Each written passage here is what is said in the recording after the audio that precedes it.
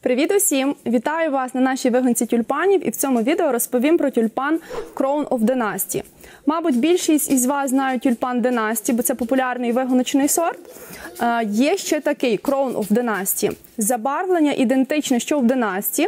Спочатку е, він жовтого кольору, низ, пелюстки світло-рожевого кольору.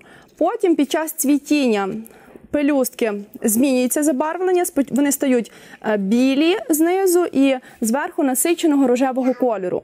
Різницею між of Dynasty і Dynasty є форма квітки. Of Dynasty відноситься до хвилястих тюльпанів, і квіточки їх подібні на троянди. Тут гарно, чітко видно, як маленькі трояндочки. У висоту кров of Dynasty росте приблизно 50 см, і бутон у нього нижчий, набагато нижчий, але за рахунок того, що пелюстки такі хвилясті. Росте у висоту приблизно 4-4,5 см.